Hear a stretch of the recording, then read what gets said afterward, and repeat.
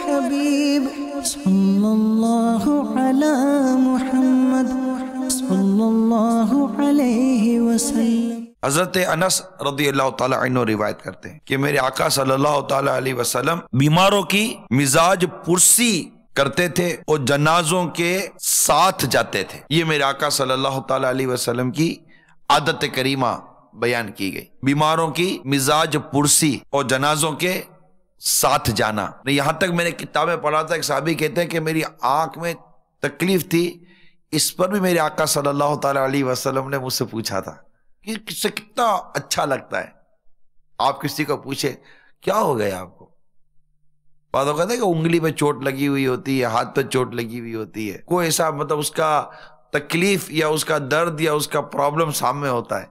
अगर आप उसको खाली कह लेंगे, क्या हो गया आपको? उसको उसको मज़ा आ जाएगा ना उसको खुशी होगी। याद रखिए फराइज के बाद सबसे अफजल इबादत मुसलमान को खुश करना है। सरकार सल्लल्लाहु अलैहि वसल्लम जिस तरह इजतमाही तौर पर रहा करते थे, अपने गुलामों के साथ रहा, आप देखिए यहाँ तक आगे हदीस में कि गुलाम की दावत कबूल फरमा लेते थे। यानी अगर कोई दावत देना चाहता और वो दावत अपने गुलाम के ज़रिए कहता कि जाओ सरकार सल्लल्लाहु अलैहि वसल्लम को दावत दे दो तो गुलाम आकर किसी की दावा देता, तब भी मेरे आका कबूल फरमा लिया करते थे। तवाजो इनकी सारी, इस कदर और इर्शाद होता है, और दराज गोश, जिसको हम आम हमारी जबान में गद्दा भी कहते हैं, और दराज गोश पर सुवार होते थे।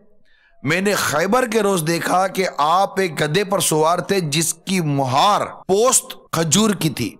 यानी ये कमाल दर्जे की इनकी सारी आजिजी और तवाजो की तरफ़ इशारा है। कि इतनी जिसको हम अपने तौर पर मामूली सवारी कहते हैं, और खसूस जबकि इसकी लगाम खजूर के पोस की हो तो ये बहुत ही मामूली समझी जाती है। यानी हुजूर सल्लल्लाहु अलैहि फाते खैबर हैं, मगर ऐसी मामूली सवारी पर सवार हैं, जिससे मालूम हुआ कि दुनियावी शान शौकत सल्तनत हुजूर के कल्बे पाक को ना बदल सकी, सबको दुनिया बदलती है।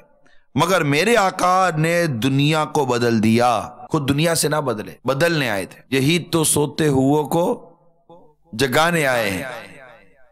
यही तो गिरते परतों को उठाने आए हैं। कितना प्यारा मदनी फूल है कि सबको दुनिया बदलती है मगर मेरे आका सल्लल्लाहु अलैहि वसल्लम तो दुनिया को बदलने तशरीफ़ लाए थे। और कैसा बदला? ऐसा बदला कि एक दूसरे के खून के प्यासों को एक दूसरे के खून का मुहाफिज बना दिया। बिल्कुल उलट।